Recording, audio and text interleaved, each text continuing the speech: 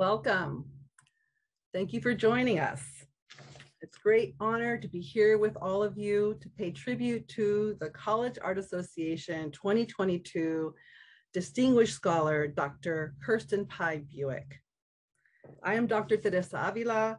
I am chair of the annual conference committee.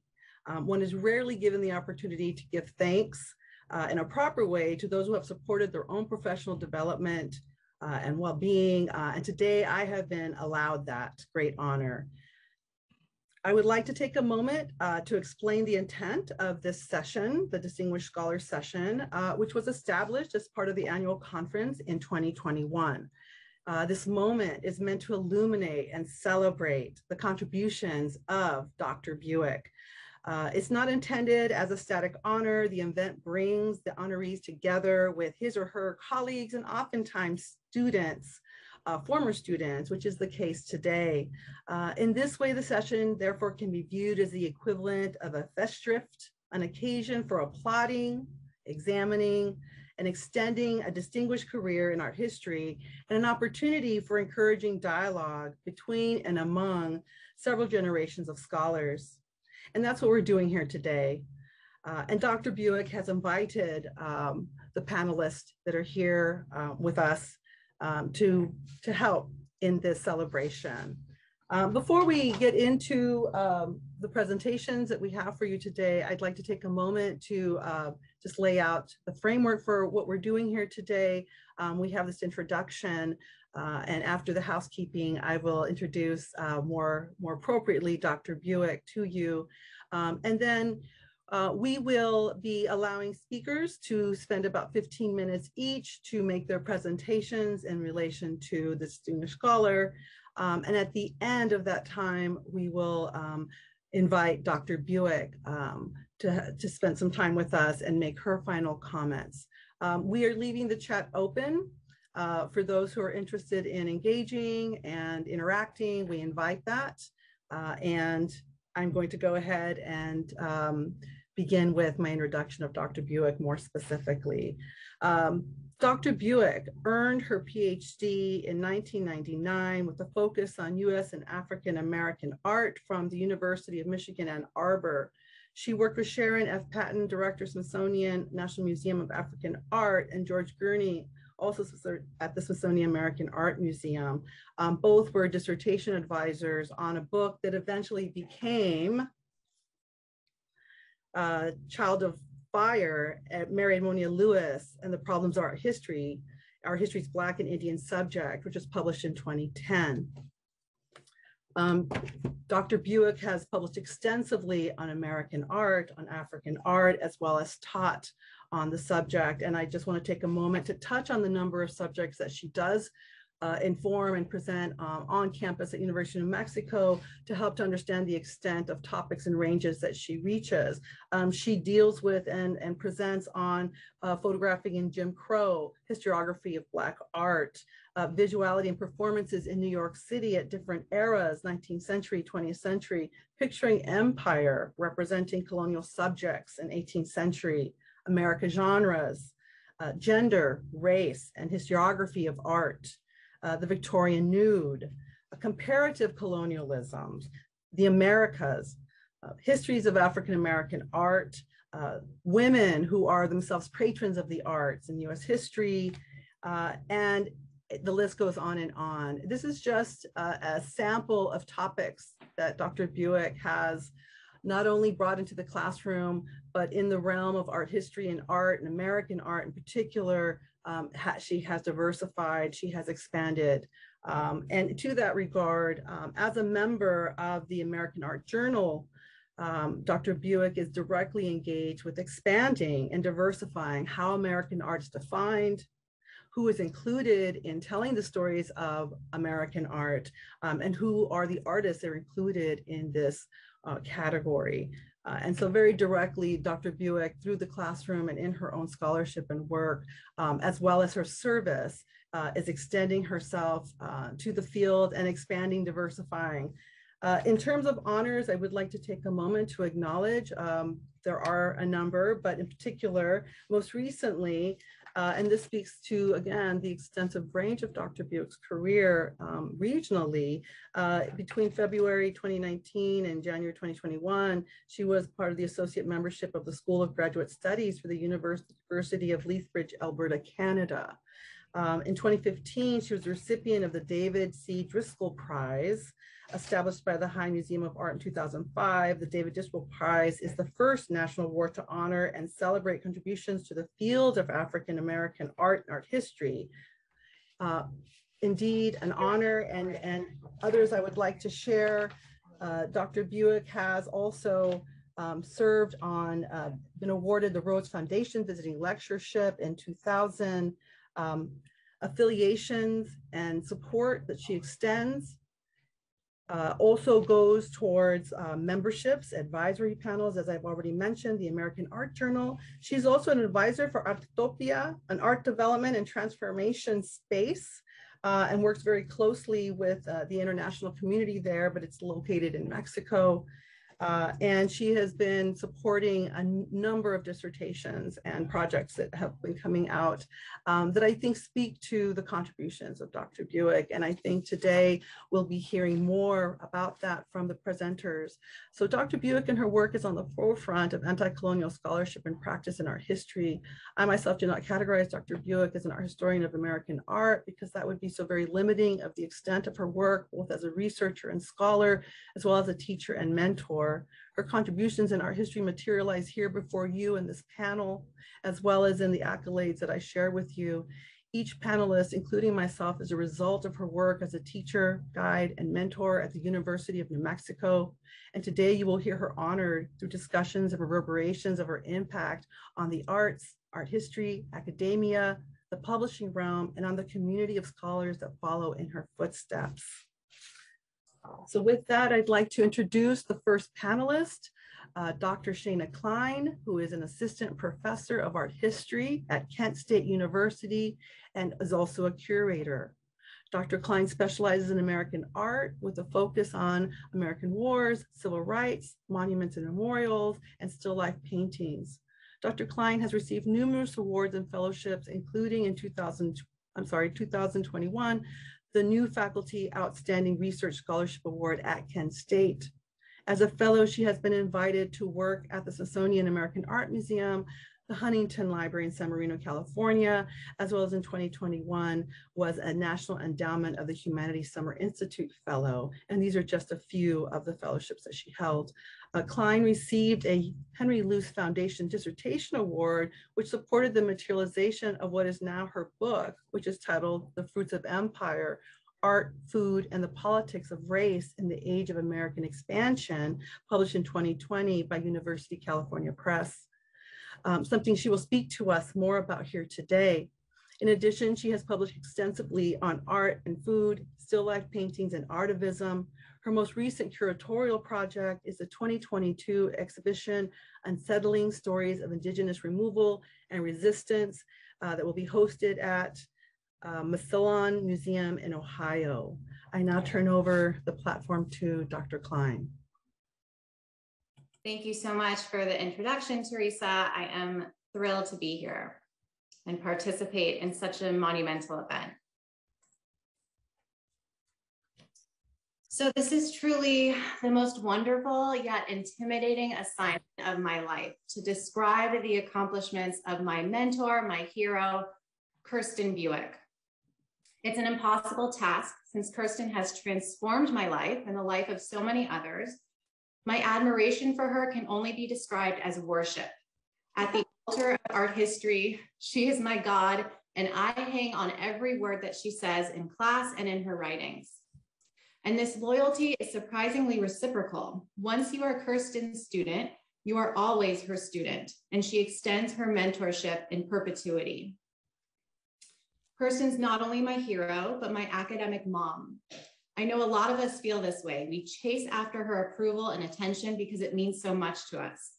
And in return, she's not economical with her praise.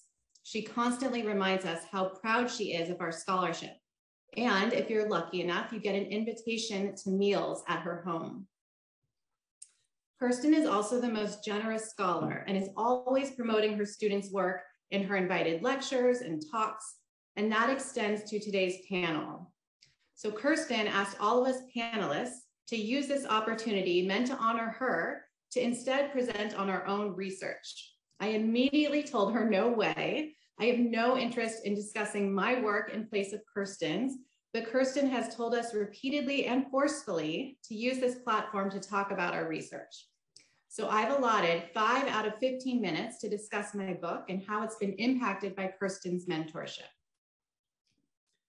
My recently published book is indebted to Kirsten. It's called The Fruits of Empire, Art, Food, and the Politics of Race in the Age of American Expansion. It was published with the University of California Press. This research reveals how pictures of food communicate stories about the expansion and racial formation of the United States. Divided into five chapters on specific fruit case studies, I, along with Kirsten's guidance on every page, discuss how fruit stimulated conversations about race and citizenship. Fruit in particular sparked these conversations because their images pressed upon the landscapes where they were grown and the laborers of color who grew them. In my first chapter on the grape, I study images like World's Fair exhibits that advertise California viticulture as a profitable enterprise and a star of empire making its way westward. Informed by Kirsten's unapologetic teachings on Western expansion, I emphasize how grape growing came at the cost of indigenous removal and the backbreaking labor of Mexican and Asian immigrants whose work made the California grape and wine industry possible. In my orange chapter, I analyzed photos of Florida oranges to consider how this industry carried the promise of a new chapter for emancipated African Americans who helped jumpstart this industry photographs that show Black Floridians thoughtfully picking and creating oranges stand in contrast to cruel images from my next book chapter on the watermelon. Here I chronicle the history of a nasty racist stereotype claiming that Black people had an insatiable lust for watermelon. Kirsten and I debated the ethics of displaying this imagery in my book. She felt that it was urgent to publish this material so that we can confront these ugly histories while also acknowledging the limitations of academic discourse and how it cannot erase the pain and trauma that these images cause. Kirsten's courses and advice were most crucial for my next chapter on the banana. She helped me realize how something decorative like a banana boat or a banana stand was a way of naturalizing this Latin American fruit considered exotic in the 19th century United States. Kirsten trained us students to, con to consider and understand that objects of gentility were in some ways the most powerful and dangerous because they obscured the violence on banana plantations, showcasing a prosperous dining room that came at the expense of others' suffering. Kirsten also taught me how it was women and not just men who shaped racial politics through art and food. For instance, it was middle and upper class American women who purchased banana stands to distinguish US rituals of eating bananas from, quote, the savage eaters of the lazy tropics. Something as seemingly innocuous as a banana stand was designed to uplift one culture over another. Kirsten's critical advice applied again to my, to my pineapple chapter. She helped me understand the capacity for art to whitewash, exoticize, and naturalize Hawaiian people and goods for the sake of commercial expansion. Because so much of my research on food focuses on places perceived as borderlands and frontiers, Kirsten sees my project as one not solely on still life representation, but more generously as belonging to landscape studies.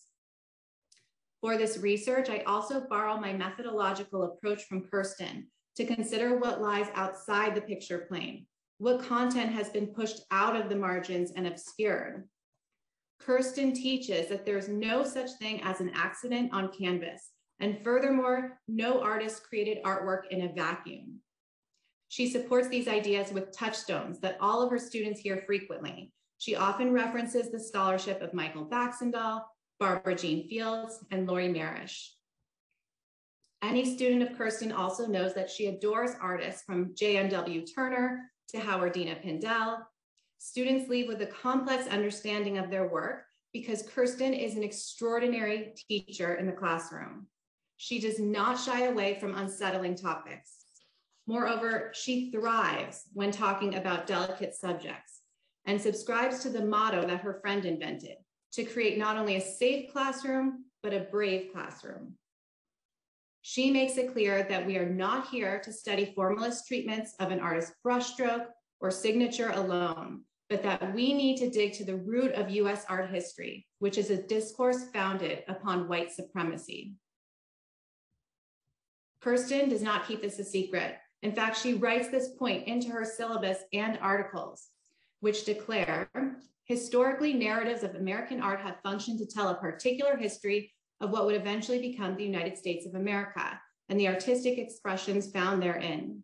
Each particular history, both positive and positively terrible, sparked creative expressions among its inhabitants and the rising interest in multiculturalism.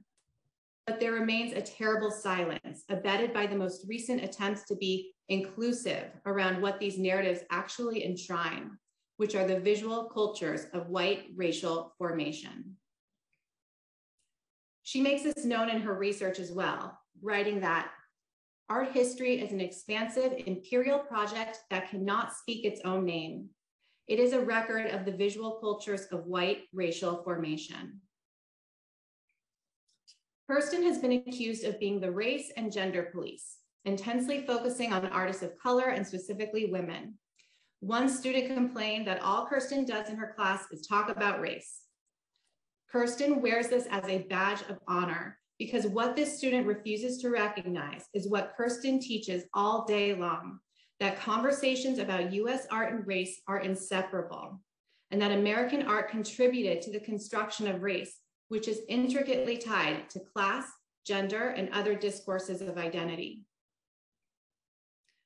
I feel badly for students who don't get to take Kirsten's classes. I would pay tuition to be back in the classroom with Kirsten. The one perk of the pandemic has been the opportunity to be a student in her virtual classroom with all the invited lectures and talks she's given in the past two years.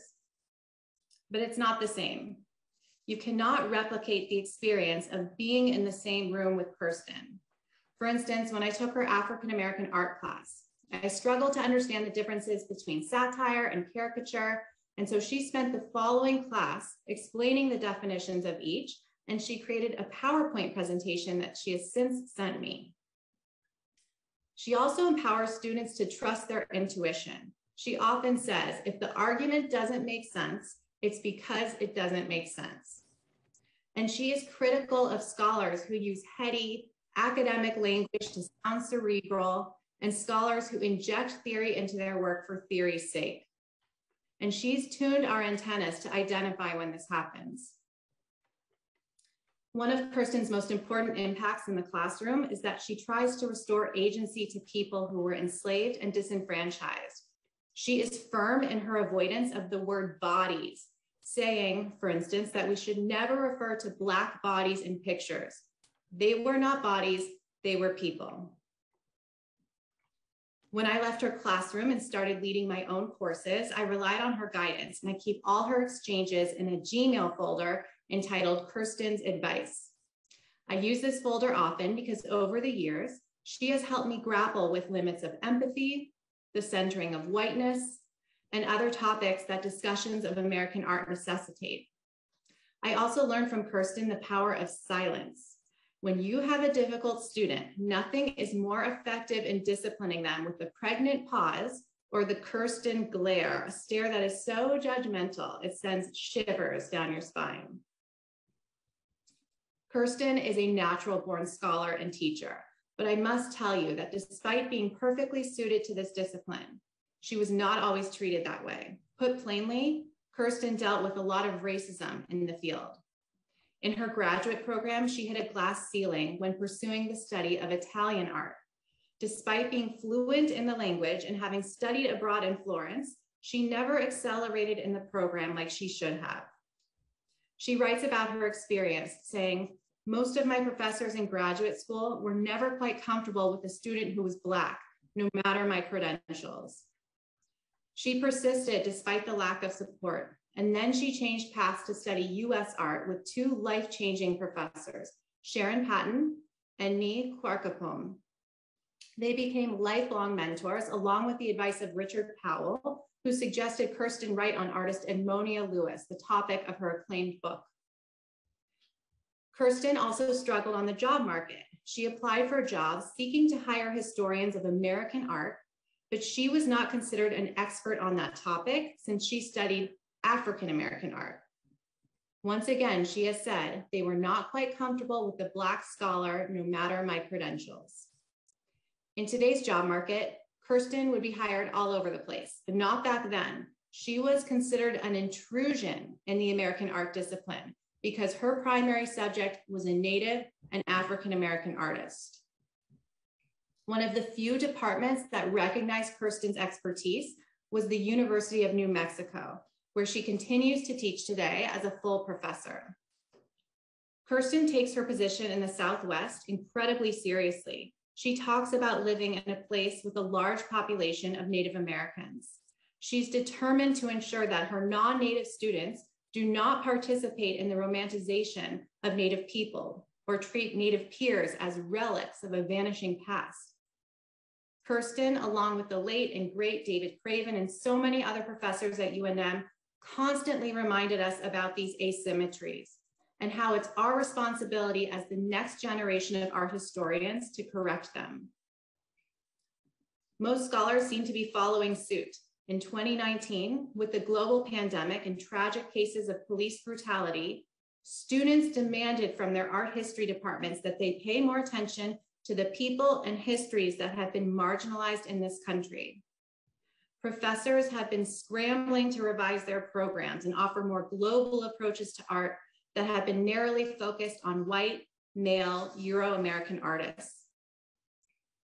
And while professors across the US are pivoting shuffling and hustling to make their courses more diverse, we, the students of Kirsten, have been doing this for decades. The anxieties that professors are experiencing to recalibrate their courses is not something we are experiencing in full because Kirsten is our teacher. And the art history program at the University of New Mexico trained us to teach outside the canon. Kirsten, furthermore, has given us the intellectual weapons needed to fight these inequalities. Because of Kirsten, we are academic warriors, we are resistors, and we are activists in the classroom.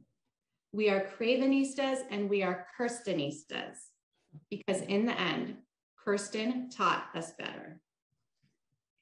Thank you. Thank you, Dr. Klein. Next to the podium is Dr. Annette Rodriguez, who is an assistant professor of history at the University of Texas at Austin. Rodriguez concentrates on perennial racist violence in the United States as communicating events that construct and reinforce ideologies and hierarchies of race, gender, citizenship, and national belonging. Her analysis of historical method emphasizes the use of visual texts and is demonstrated in her first book in progress, Inventing the Mexican, the visual culture of lynching at the turn of the 20th century. In addition, Rodriguez has initiated a data mapping and social history project on US bounty land grants. This project tracks the over 60 million acres of lands granted by both the US federal government and individual states as incentive to serve in the military and as a reward for service. It is provisionally titled Intimate Acquisitions, A Relational History of US Bounty Lands. Rodriguez has taught at Brown University, the Institute of American Indian Arts, Northern New Mexico College, Santa Fe Community College, the University of New Mexico, and the University of North Carolina at Chapel Hill. We welcome Dr. Rodriguez. Thank you all so much. Thank you for that uh, most generous introduction. And uh, I'm I'm so honored to to follow Shana's uh, really powerful um, discussion. Uh, I I I second so much of what um, Dana has to say, and I know that we're all uh, honored to be here today. Um, so the first thing I want to say uh, that uh, is important for, for everyone to know about me is that I am not of the discipline. Uh, so let me share my screen with you. Uh, I am an historian. So um, my opportunity to join you all at, at CAA for this distinguished scholar session is, is you know, sort of a, a double honor for me because uh, I'm sort of an interloper here. I'm, I'm, not a curator, I'm not an artist or an art historian. Uh, my work, however, um, as with Shana's, has been transformed by Dr. Buick and transformed by the possibilities of beginning from an object and proceeding forward by thinking through that object. And so it is this art historian in this field who taught me how to be an historian. And Dr. Buick has trained me to think about objects, emphasizing their function.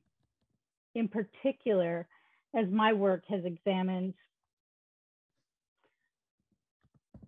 visual culture from the turn of the 20th century that has included postcards, dime novels, silent films, and various uh, photography collections of itinerant photographers at the US Mexico border. Because of Dr. Buick's training, I shifted away from the basics of thinking through stereotype, which is where I began in error. Uh, Dr. Buick trained me to emphasize the function of objects of visual culture, transforming completely my work. And when I started my work, I did uh, what she then called things said work. So I stood to the side, I pointed forward, and I said, look at this terrible thing that was done, or look at this terrible thing that was said. Look at these terrible images. And Dr. Buick required me to do more, to think through the function of those things said, the function of those things done, the function of those hateful things visually constructed, and what they accomplished and for whom. And so I want to share with you the story of how I came to work with Dr. Buick, as I did not go to study art or art history. Uh, I was in my bachelor's program for my first uh, major research project I returned to my hometown of Silver City, New Mexico. And I returned there to collect oral histories of those who had lived in southern New Mexico in copper mining towns. And so as you can see from this extremely uh, busy, ambitious project, I tried to catalog segregated homes and segregated cemeteries. Um, this became my, uh, my honors thesis for my bachelor's so what happened is I was doing these oral histories, community members unprompted repeatedly recalled how Mexican men in this community had been called boy regularly well into the 1970s. And so I found substantiating newspaper articles that reflected this practice, even in print, identifying grown Mexican men as, quote, the boy Anselmo. He was 72 years old or the boys who finished the construction of the church, of course, grown men. And so I wondered if there was a white supremacist racial order of the South that had been sort of imitated or transported to the Southwest, if there was some sort of pairing of anti Blackness and anti Mexicanness. And I thought of a day with my grandfather, elderly, living in the back room of a rock shop selling geodes and rose quartz to passersby. And he was speaking in broken English to a white family. And the tourist father patted his daughter's head and he pointed to a pile of geodes and said to my grandfather, at least 40 years his senior, boy, bring two of those over here. And my grandfather didn't hesitate. He shuffled over in his sagging green work pants, pulled tight with a belt, happy to have a sale, and I have yet to figure out how to honor the price and the sacrifice of my grandfather's shuffle. And so I wrote two paragraphs with a long footnote of newspaper citations in this project discussing the racist use of the word boy in southern New Mexico. But my advisor had me remove it, saying, quote, this is just the lingo of the times. Lots of jazz musicians were called boy or called kid or called junior. And since my academic career has been firmly pinned to that two paragraph gap. So I pulled up the project, my old bachelor's thesis to confirm my recollection. And as you can see here in the top right-hand corner, um, the in the word search, the word boy, it doesn't appear anywhere in this entire document. And it was in this period that I, for the first time, met Dr. Buick. I told Professor Buick the story of being told to remove the section. I minimized my anger, granting that perhaps it maybe was possibly a jazz term. And with complete confidence, Professor Buick smiled and simply said, no. And I began to take her classes. And the training Dr. Buick has given me uh, in my coursework as a member of my master's and dissertation committees, her help in writing my book proposal and writing on my behalf for many dozens of applications for funding, postdocs, and jobs, has given me the gift of, as she says, telling the most complex story that still makes sense. And what became clear to me years later, but was clear to Dr. Buick all along, was, uh, well, here's what she wrote for me recently, 15 years after Boy. Quote, early in her project, Annette was encouraged by some of her advisors to abandon her comparative analysis surrounding the lynching cultures of Black and Mexican people. In part, it was because of the perceived differences between the Southeast and the Southwest, but it was also, I suspect, the reluctance to compare one of the most despised minoritized groups, African Americans, to a minoritized group that holds a measure of power within the state of New Mexico. Annette was able to see through and beyond such provincialism and myopia, end quote. And as we worked together, Dr. Buick also pushed me against calls for representation, again, where I started, insisting that we focus on what it is to do in the world rather than what it is to be in the world. While scholars have inhabited increasingly elaborate fantasies of the authentic, of the essentialized, of the ahistoric identities, Dr. Buick has built a curricula and publishing on what it is to do in the world. Discussing her process in writing Child of the Fire, Mary Edmonia Lewis, and the problem of art history's Black and Indian subjects, Professor Buick made irrelevant the construction of the other. She does not use or negotiate this term in this work, and I have written my way out of the language of the other. As Dr. Buick explained of her aim in Child of the Fire, quote, Edmonia Lewis is not other to herself. We must acknowledge the wholeness of her being end quote. Categorical ahistorical racial formations and pictures as evidence are both endemic to historical practice. And so mine has been the joy of bringing the gospel of Buick to the discipline of history. And so here are a few notes from our seminars I've kept over a decade and still use regularly. Dr. Buick helped me realize my work I was, I am tracing the ritual life of whiteness, visual culture as ritual objects of white supremacy. The precision of images do things. Visuality is a critical component of this ritual life of whiteness and the false and pernicious ideologies of white supremacy. And so I repeat to my students and my colleagues in history the objects do not illustrate, objects are not evidence.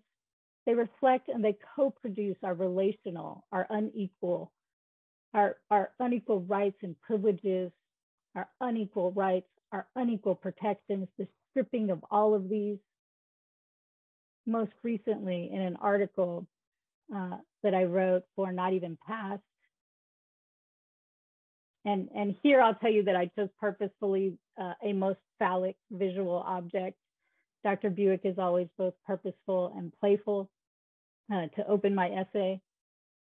but I was writing on uh, Robert Runyon, and little work has been done on him. So his photographs are used often. His collection at the Briscoe Center for American History contains over 14,000 images of the US Mexico borderlands at the turn of the 20th century. And the sheer scope of his work, from botanicals to images of spectacular violence, images of what I have come to term disappearance lynchings, where he photographed the remains of Mexican men and boys that would be encountered, come upon in fields or on roadsides. Those photographs are ubiquitous in historical practice. They've been used as documentary evidence. But historical practice has left us wanting, demonstrating a century of marshaling the images by this photographer as journalistic and as truth. But as art historical practice emphasizes, each image is a text that is constructed and that requires reading. And so Runyon's ability to market a massive number of images has rendered him the author of a seemingly authoritative visual truth of the border at the turn of the 20th century. And there's been a particularly narrow fixation on his photographs of violence mass lynching, human remains, even though less than 3% of his archive consists of these images. And because of Professor Buick, I abandoned immediately the notion of Runyon as a photojournalist. I study Runyon as a market-driven photographer, and his visual productivities were always drawing on profitable antecedents. Runyon's photographs recall the methods of US Civil War photographers like Alexander Gardner, who fabricated some of the most moving images of the Civil War, including the home of a rebel sharpshooter. Runyon likewise arranged and manipulated scenes of carnage for his clients and for his customers. And in a satisfyingly self-reflexive image from 1913, Runyon took a photo of his own postcards. You can see them there on the, on the shelf, displayed on the shop counter. And in the first photo here, a child stands staring into the camera in front of the shop counter. A man stands in the background, hand on hip, mouth in pipe. There are taxidermied animals and pelts and rugs at their feet between them. And an unidentified man and woman stand separately behind the counter. But in the second image, Runyon has cleared the scene of all the human figures but one. The man who is behind the counter is brought forward He's leaning in front of the counter. He's now displaying the real goods of constructed racial type, costumed in a poncho and a sombrero, some rugs and taxidermied, taxidermized animals and pelts, and the banner reading Mexico have been removed, but not the postcard racks. And so here we have two stagings to compare. The second one would become a profitable postcard for Runyon. And Runyon likewise staged dead people and their victorious lynchers. And he there corrected for light and for shadow. He moved femurs, he tilted lifeless heads. Here he learned from the antecedents of images of anti-indigenous attacks, like those of the Battle of Wounded Knee, where the dead are gathered on the plains, fell like trees, triumphal images of the clearing of the land, The images are from the ritual life of whiteness. They are shows of force, white supremacist demonstrations of who is vulnerable, who is protected, who will be defended, who will go unpunished. In the following images, I've cropped the faces of the killed men. Runyon did not. But you can still helpfully discern the shadow of Runyon's camera.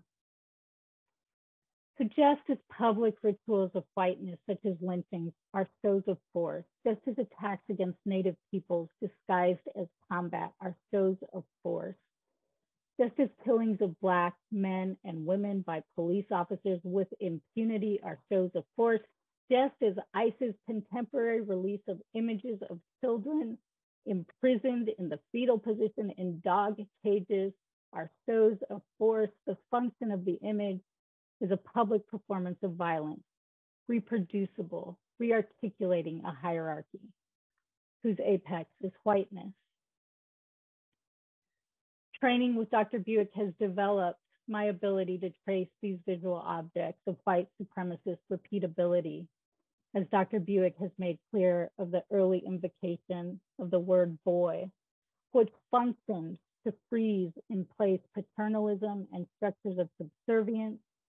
And as she helped me to work through objects of visual culture, I realize that white supremacists continue to plainly show us what they are capable of. And Dr. Buick has given me the tools so that I can meet them on those terms. And so I thank you so much, Dr. Buick. Thank you. Thank you, Dr. Rodriguez. Appreciate you sharing your work with us. Uh, and now we are bringing to the podium um, Abbey Hepner, who is an assistant professor of art and area head of photography at Southern Illinois University, Edwardsville, Department of Art and Design. She holds an MFA in photography with a minor in arts management and a BA in psychology, as well as in studio art. Um, she has an extensive CV with um, exhibitions, group and solo. I'll share a few of the, the solo exhibitions uh, forthcoming in 2022. Uh, there'll be a St. Louis Artist Guild curated gallery show that she'll be part of. Uh, in 2021, she had a series of exhibitions, um, Redacted Landscapes at the Sheldon Art Gallery in St. Louis, Missouri, Control Room at University of Notre Dame and Indiana, and Crystal Balls for Our Shared Futures office space at St. Salt Lake City, Utah. Uh, additionally, uh, public installations and screenings that I'd like to draw your attention to. Um, in 2018, Conjured Futures Center at the Interplanetary Festival in Santa Fe, New Mexico, which was juried, um, and a Atomic Traces 14 by 18 billboard project in New York City, uh, which was invited. Uh, so really representing a, an international activity uh, and awards that I'd like to highlight, although there is an extensive list. Um, in 2022, um, was named Silver List Artist, which was awarded by Silver Eye Center for Photography, the Blacklist, and the Carnegie Mellon University. As well as in 2021, uh, she received awards for Interesting Artists and Photographic Books um, by the Photo Book Journal COVID-19 Assigned Research Time Award as well. Um, so doing that work that many artists are doing uh, in response to the, the COVID. Uh, but without further ado, I'll let Abbey tell us more about her work and uh, her connection with Kirsten. Thank you. Thank you. I want to thank my fellow panelists um, and CAA for giving Dr. Buick this award. Dr. Buick was one of my MFA mentors at the University of New Mexico. She asked me to speak about my book, the Light at the End of History, which was published last year by Daylight Books. When I was working on the book, I knew that there was no one that I would rather have write an essay about my work than Dr. Buick. So I was so thrilled when she was willing to. There are seven projects in the book that are woven together through nuclear energy, the atomic bomb, and radioactive waste. By capturing distinct marks in time, I make visible the ongoing, often invisible, relationship with nuclear technologies. I'm going to share some of the work from my book, as well as Kirsten's essay, which she titled Made You Look, The Political Aesthetics of Abbey Hepner. When I entered graduate school, I came with two bodies of work that I had recently made, Scars on the Landscape and Nuclear Mascot. Scars on the Landscape was created in response to Germany immediately closing eight nuclear plants and beginning the decommissioning of all other nuclear plants in response to the Fukushima nuclear disaster. Using my body in a performance-like gesture, I created a mark in time on the landscape surrounding the building as it was in flux between active and abandoned. Dr. Buick's essay is particularly meaningful to the book because I may not have made a lot of the work if it wasn't for her early support and influence. She regularly teaches an art history class on landscapes that was influential to me, but she also taught me how to navigate the questions that I was being asked and the responses that I was getting from my work. In 2013, I moved to Japan and I spent some time volunteering in the disaster zone up north that was left from the 2011 tsunami. I created a series titled Nuclear Mascot that investigates the rise of nuclear propaganda in Japan, including the fact that every nuclear plant had its own cute mascot character. Japan's nuclear propaganda came from the US as a result of Eisenhower's 1953 Atoms for Peace project the US provided the money and manpower for Japan and India to build their own nuclear power enterprise. Nuclear propaganda was part of my own culture. Despite this, I soon came to realize that my first task in graduate school was legitimizing my work, and the question of agency would be a common occurrence in my work, and also something that's called into question for many of my students making art that crosses into social and political territories. Dr. Buick addressed this in her essay, quote, the purpose of authenticity misunderstood as an explanatory of the real, while in fact put into operation as a strategy of either legitimation or delegitimation, a weapon that seeks to persuade rather than describe and wielded by outsiders who have little or no conception of one's journey thus far. Such were the trials of Abbey Hepner, whose interests are the nuclear industry and who grew up between the Nevada test site, where the US tested nearly 1,000 nuclear weapons, and Idaho National Laboratory, an 890 square mile section of desert used for reactor experimentation.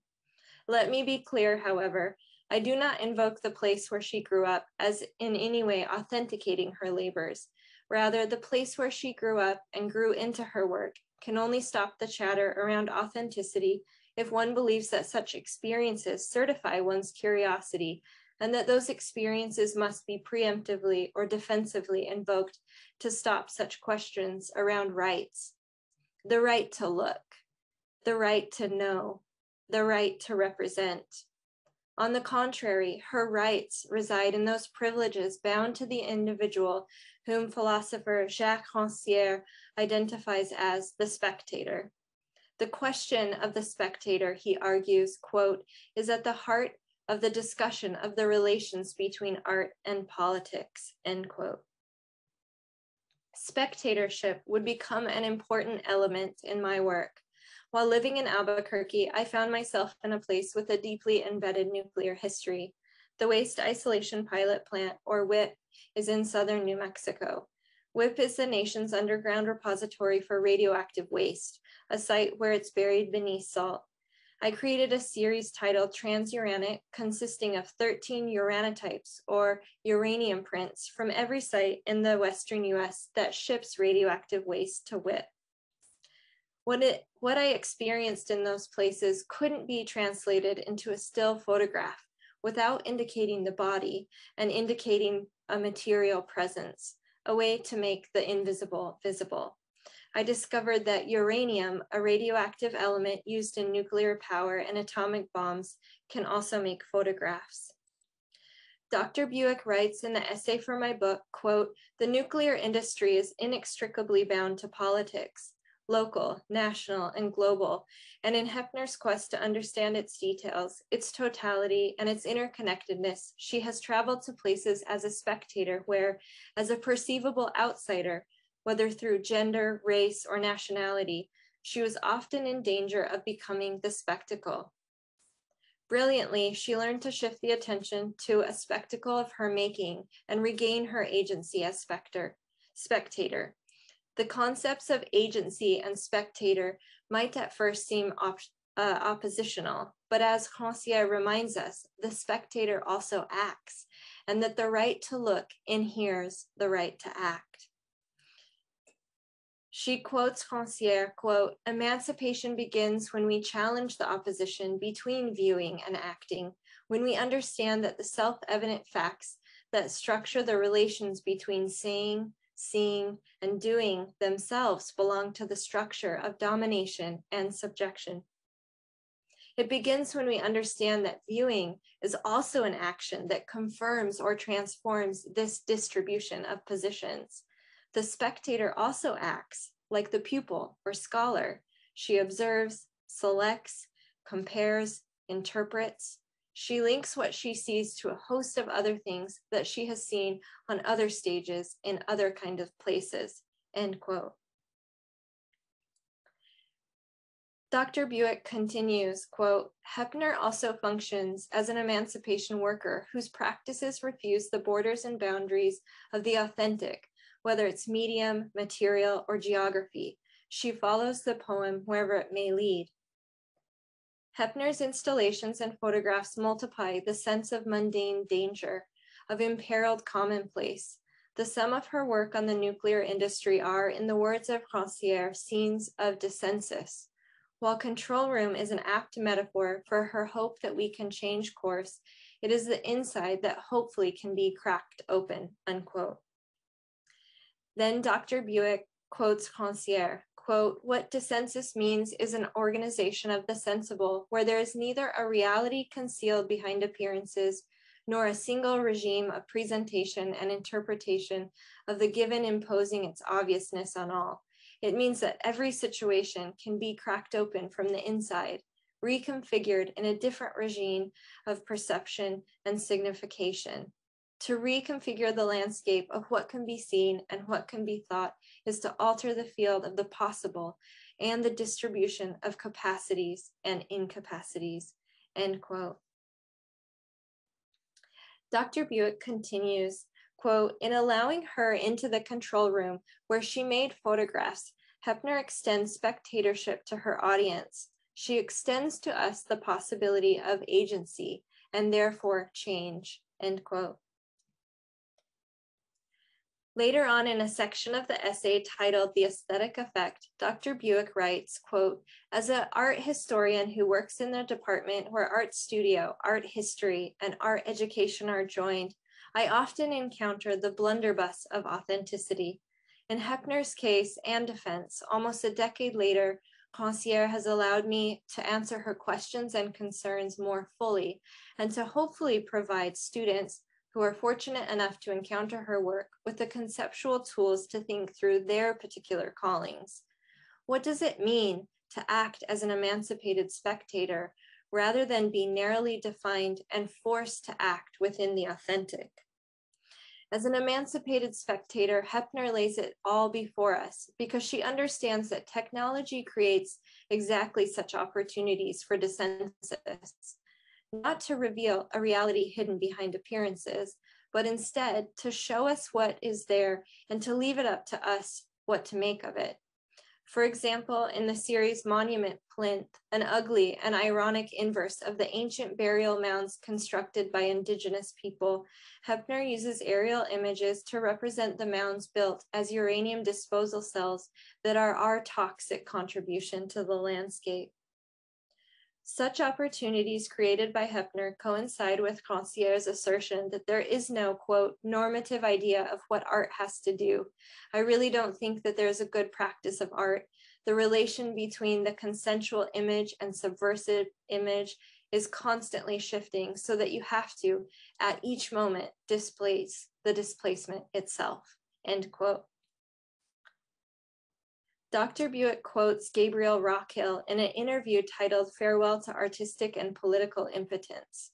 Rockhill posed a question to Rancière, quote, what is the role of the critic, the interpreter, the theorist in drawing out or highlighting the political elements in works of art or artistic endeavors? I know you've been very critical of certain conceptions of committed art or pol politicized art that they try to reduce the political dimensions of art to the artist's intention. What then is the role at the opposite end of the spectrum, i.e., not with the producers of work of art, but with their reception by the interpreter, the theorist, the active spectator, if you will? Do they play a role in articulating the political power of works of art? Or is this power somehow inherent in works as they stand?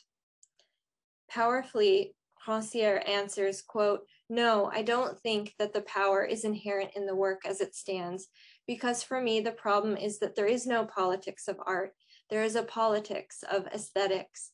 This means that what is important is not the idea that the work can have this or that effect. In fact, the work is an implementation of an idea of the artist, which means that the work is an implementation of the relation to an artist to politics. But this does not mean that all that the artist can anticipate political effects of the work. Thus, the effect, the aesthetic effect, is not the effect of a work in the sense that a work should not produce this energy for action or this particular form of deliberation about the situation. It's about creating forms of perception, forms of interpretation, end quote. Dr. Buick continues, quote, indeed, photographs cannot free us from our responsibilities, but Hepner's generosity means that she shares with us the right to look. In emancipating herself as a spectator, she frees us all, end quote. Her essay is documentation of just one of the many inspirational lessons that I have learned from her. Her teachings have made an incredible impact on my life, and her mentorship has helped me understand the gift and responsibility of my own art practice.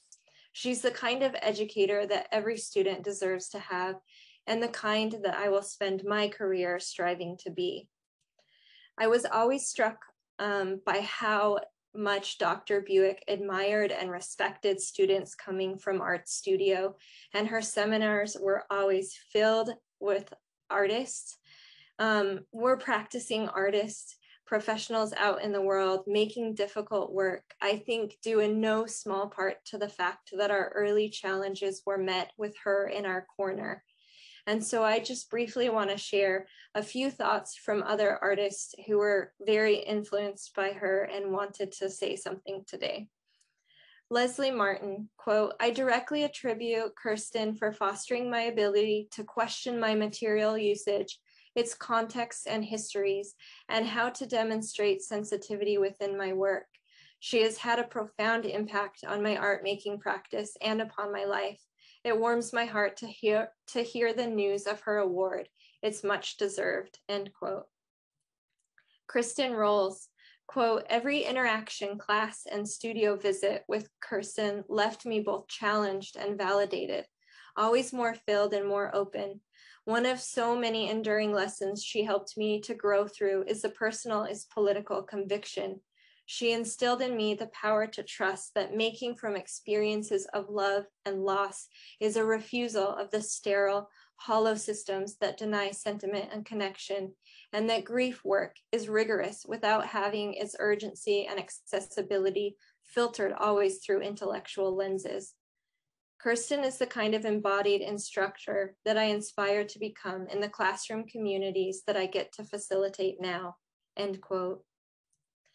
Ian Van Coller, quote, as a white South African man, Kirsten was instru- instrumental in helping me navigate the tenuous line that I had to tread, engaging the politic politics of my country in my art, end quote. And lastly, Daniel Coburn, quote, Kirsten became a guiding light during my tenure as a graduate student. She is uncompromising and exacting in her pursuit of research.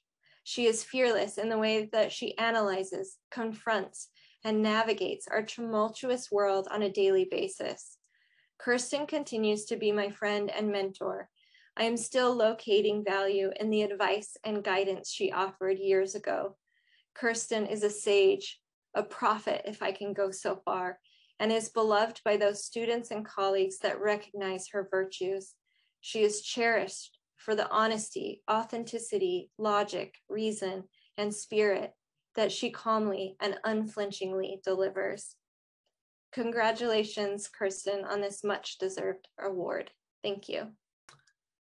Well, Abbey, that was really touching. Um, thank you for sharing your platform with other artists um, and, and enabling us to really see and hear the reach that Dr. Buick has um, with her uh, with studio artists in particular. I don't think every art historian um, has the same um, type of relationship or impact in the arts uh, in that way. So thank you for bringing that to light and, and allowing others to speak through you. That was that was really very powerful, uh, as is all as are all the the tributes that we're hearing here today. And finally, but not last, uh, in any other way uh, but to present is M Dr. Emmanuel Ortega, um, who received his PhD from the University of New Mexico and is a Marilyn Thomas Scholar in Art of the Spanish Americas and assistant professor in colonial Latin American art at the University of Illinois at Chicago.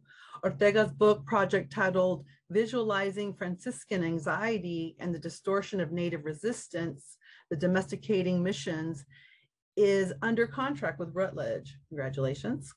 Uh, Springing from his research interests, Ortega has curated in Mexico and the United States with a new exhibition titled Contemporary Ex Votos, Devotion Beyond Mediums, which will open in New Mexico State University Museum of Art in September of this year.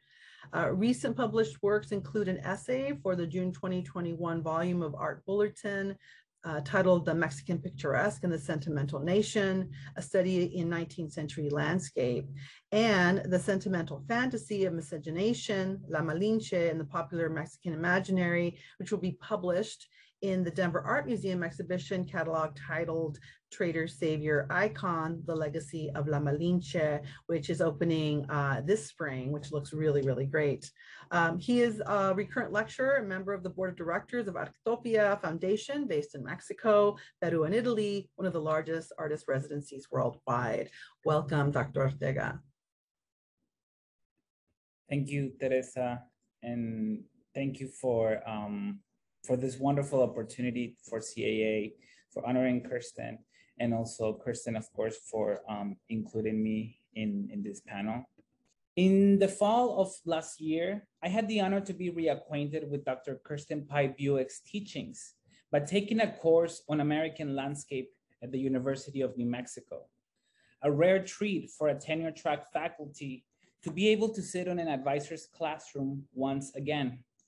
I studied under her supervision for 10 years, yet this time I was able to fully grasp the value of her pedagogical approaches to art and history.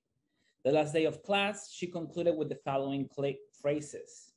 Art history is the discipline of denial, national parks are graveyards, and white supremacy is an American experiment. You may be asking, what is a Latin American is supposed to do with this information? How can this knowledge be useful to my personal scholarship, but most importantly to the studies of Latin American art history? To echo one of the most famous opening lines in the history of cinema, I believe in art history. I believe in its tools and methods. And I believe in the men and women who, gave, who have gone before me and who are my contemporaries, that their commitment to the visual record of human endeavor is profound and sincere. This is how Dr. Buick begins her book. It has been through the comprehensive understanding of pictorial conventions and historical context that she has been able to deconstruct art history's master tools. I am convinced that it is through her analysis of the historiography of the field, along with a reevaluation of its most basic tools, that she's able to avoid what she calls doing the work of the object. In the words of art historian Michael Baxandall, who she continuously turns to in her classes and her writings, quote, description is the mediating object of explanation, end of quote. The problem with scholarship about Lewis, Dr. Buick writes, is that it makes static artistic process and rests on the infinitive to be rather than to do. Lewis is exotic and subversive, Black or Indian, and scholars tend to judge her work based on narrow subject positions. The process is active, therefore artistic intent is never fixed. End of quote. By way of this phrase, we can underscore how most art history discourses dealing with minoritized subjects and objects rest on what art is rather than what it does. However, this alone would not preclude us from falling into the pitfalls of our discipline. That is, creating meaning from a perspective that arrests identity as fixed and not as ongoing processes. Ultimately, Dr. Buick's work within the discipline, which in her words is an expansive imperial project that cannot speak its own name, is a call, and in the spirit of quoting popular media, to see with eyes unclouded by hate. It is in the traps of description, which oftentimes mediated by identity anchors, that I first learned to explain an artwork in Novo Hispanic Franciscan martyr portraiture, the visual culture on which my work centers description traditionally has been fixed to religious iconography. However, in my scholarship, I deal with the erasure of First Nation people's agency in relation to the larger project of empire in New Spain and later in the US. More specifically, I focus on how indigenous resistance movements impacted governmental administrative procedures. This is how I have been able to recontextualize these paintings to render the political agency visible. In other words, I am asking what the portraits are doing rather than describing what they are.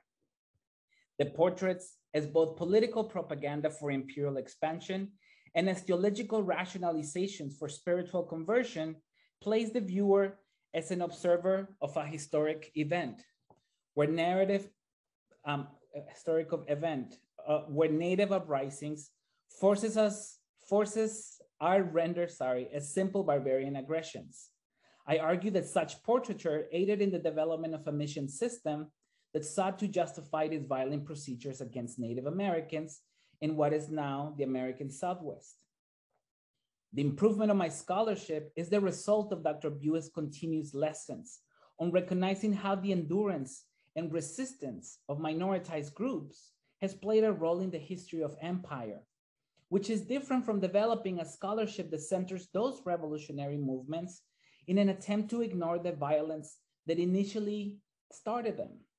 In other words, Native resistance should not be a conduit for absolution of the very disciplinary structures in which they are studied. While Native resistance fueled the anxiety of empires, especially in their quest to expand the boundaries of ever fluctuating frontiers, we cannot resolve art history's continuous erasure of Native agency by imposing upon Indigenous insurgency a redemptive weight. This merely elucidates the discipline's inherently violent colonial implications and represents yet another way to appropriate Native voices for its absolution.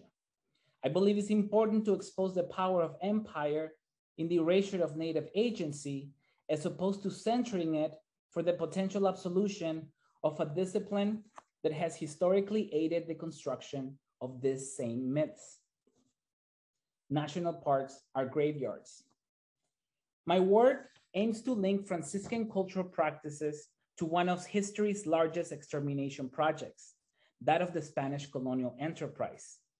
The art history of the Franciscan mission systems in the Americas, with the exception of few scholars, has been limited to a discussion of architectural styles in relation to Christian ritual. When one speak of style divorced of historical context, we erase and justify violence. Every summer, I take a group of artists in residency at Arquitopia, a program which flourished as a space for art practice and justice, in part thanks to the guidance of Dr. Buick. I take them to the former 16th century mission of Huejotzingo in Puebla, Mexico.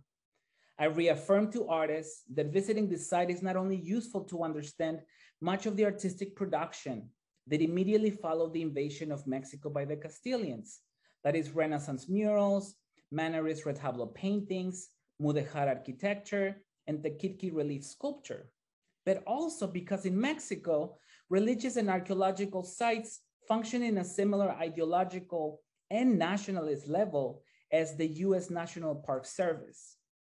As such, Huejotzingo and other coeval missionary spaces have become monuments to colonization.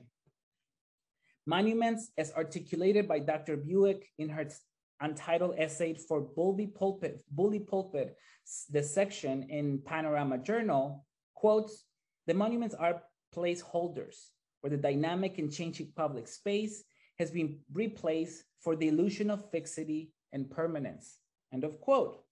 However, monuments, she continues, do not and cannot represent the complexity of our histories, end of quote. The significance of these so-called World Heritage sites has been fixed via their architectural and military value. In order to displace these meanings, I remind artists the ways in which art has always aided this type of colonial projects.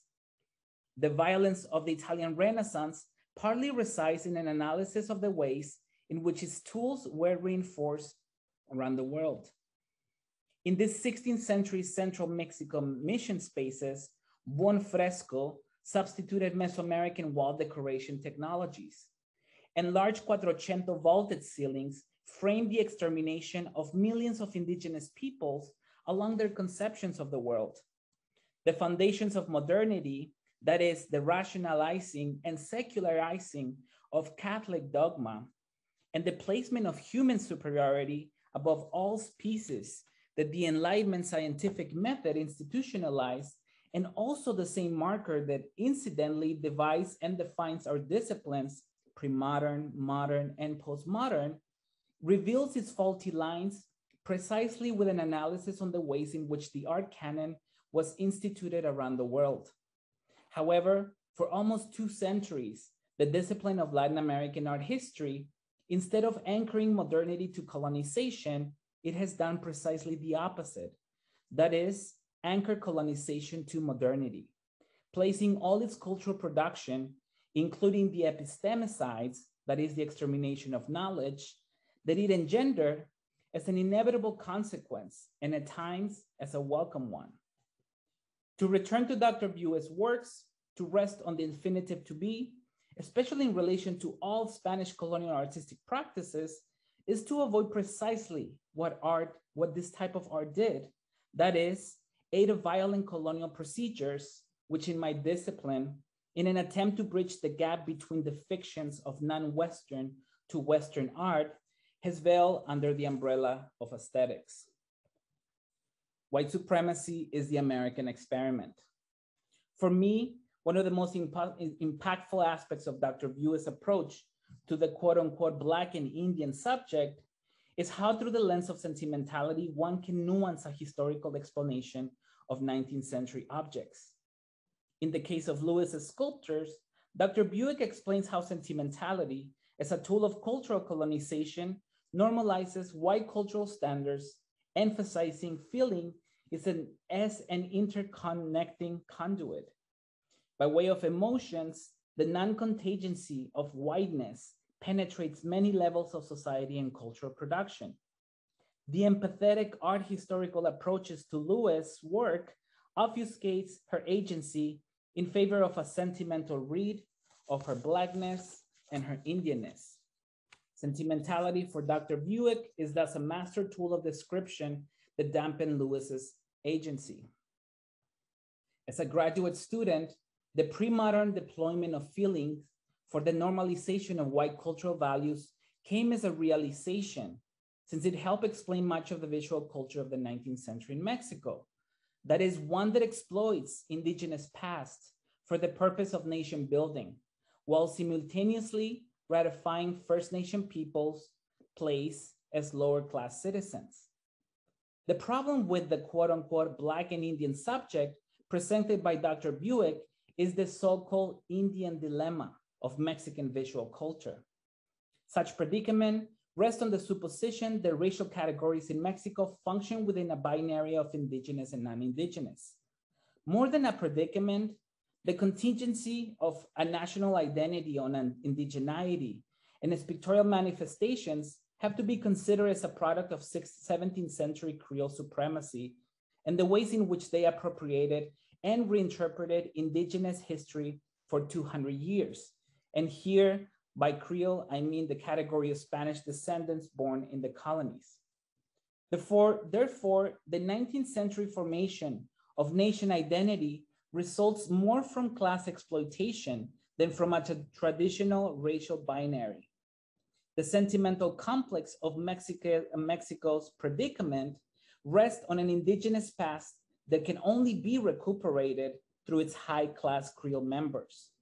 Like monuments, such articulations of the past present the struggles and continuous resistance of First Nation peoples as resolved and settled. And in the words of Dr. Buick's, one of Dr. Buick's pupils, Francisco Guevara, quote, leaving us with a sentimental outcome, such as pride, honor, and belonging that reinforces a sense of authority, end of quote. Sentimentality, more specific, the mythical encounters of European and native cultures throughout the colonial period represent powerful tools of Latin American art history. Such sentimentalized and even terms of exchange arrest indigeneity at a place where its predicaments are never altered but normalized. A mestizo culture that has come to terms with such quandary it's, is its inevitable result. Its pictorial articulations once more rest on to be, on description, and on the comfort of convention. The oftentimes forgotten lessons of social art history are best expressed in Dr. Buick's approach to the object, in her treatment of minoritized artists, and in her sharp analysis of US culture. As I was recently reminded by my colleague, Annette Rodriguez, she is all about the critical nuances and distinctions that people take as natural, but transform our work nonetheless. Through her scholarship, I have learned of my discipline's shortcomings, but through her work, I have also learned to believe in art history. Kirsten, I love you. Thank you, Dr. Ortega. Um, and now I would like to invite uh, Dr. Buick um, for the remainder of the time to comment, respond, or share in presentation. And I just want to draw attention to how timely it is for her to be the Distinguished Scholar of College Art Association's annual conference as we are celebrating and emphasizing and focusing on social justice. And in particular, this is the year of celebrating women in the arts. And so Kirsten, um, please, we honor you and would love to hear from you. Oh gosh, I'm kind of at a loss for words. Uh, thank you, Shana. Thank you, Annette. Thank you, Theresa. Thank you, Emmanuel. Thank you, Abbey. I I'm so honored to be in your presence. I'm so honored to have been your mentor. Um, it has meant everything to me, and um, I do have just brief remarks that I'd like to make, and then open it up. Um, so, okay. so I want to thank the annual conference committee for this honor. I take it as an opportunity to acknowledge the role that mentorship has played in my life and in my career, and to honor my students as the recipients of all that I have learned of hope and generosity and obligation. I hope that you are as awed by them as I was from the very beginning of knowing them. They represent the best of who I am and have become, a dynamic cross section of who I have been privileged to teach and to mentor, and who in turn generously gifted me with their trust and their brilliance. They have opened worlds to me and for me I am only saddened that they could not all speak today. Some of my first students, Barney Kulak, Ian Van Collier, Collar, Erica Adams, Danielle Ferreira, Aziza Murray, Laura Evans, or my recent ones, Serta Yalkin, Ron Ron Fan, Chantel Bollinger, Isis Cerna, Andrea Quijada, David Saiz, and there are students like Francisco Guevara, who continues to make a physical, spiritual, and intellectual home for me in Mexico through the International Artist Residency, Arquitopia. I am grateful to them all, and I am obligated to you all. My grandparents and my parents understood this day before I could ever conceive it. My sister and my brother in law remain my most significant supporters. What all of them taught me was to recognize the good help and to never internalize the bad or the negative. They modeled and model emotional health and strength for me that continues to spread through friends who have become family, and you know who you are. Because of their love and example, I was able to recognize those mentors who challenged me without crippling me. Sharon Patton, Nii Quarcoopome, Howardena Pindell, Carol Ockman, Lowery Stokes Sims, Leslie King Hammond, Rick Powell, Adolph Reed, George Gurney, Martin Berger, Lisa Farrington, Kirk Savage, Charlie Eldredge, Elsa Barkley Brown, and those who have gone, Tritobia Hayes Benjamin, Maurice Berger, David Huntington, William Gerdts, David Driskell, David Craven. And finally, I dedicate this session to Daniele Begay, Dene, my student since she was an undergraduate at the University of New Mexico, who chose to re remain with me through her master's program, but who left us tragically too soon. I wish you were here. Thank you.